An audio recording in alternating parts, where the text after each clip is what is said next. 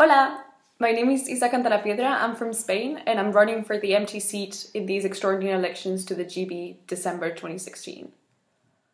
I am originally from Madrid, but now I live in Barcelona where I study a master's in cognitive neuroscience. I started EYP in 2011 and I served a term 2014 2015 with the portfolio of international relations in my national board of EYP Spain. Last year, I got involved in the project that was looking at the child protection policy, seeing how we could improve it um, to better protect our participants and their well being during our events. And we came up with the participant welfare policy. I really enjoyed this whole process of talking informally to GB members, contacting different NCs to see what their concerns were, if any, or what their ideas on the proposal were and therefore um, I would like to do that for a whole year if I were to be elected um, to the GB and cover this empty seat.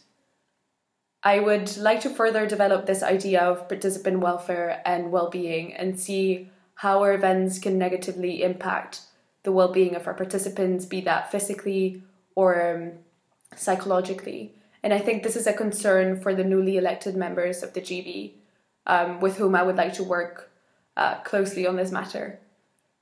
A different aim that I talk about in my manifesto as well is the discussion on political neutrality and the portrayal of our values um, publicly and how we are perceived by potential partners or potential participants that we'd like to reach out to.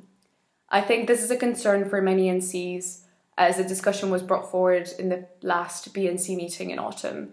And I would really, really like to have the chance to discuss this from a strategic point of view as a GB member.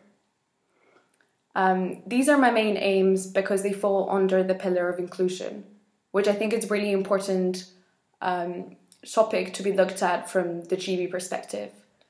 This is because I think it's a topic that is unintentionally neglected by NCs because it's already quite difficult to run an NGO um, day to day in the practical matters without having to think about inclusion and accessibility and outreach. Therefore, I would like to encourage you to contact me, ask any questions, read my manifesto. Um, if you have any queries about what I plan to do as a GB member or what my skills are to cover this this role. Thank you very much for watching this video, um, and I hope you get in touch. Bye bye.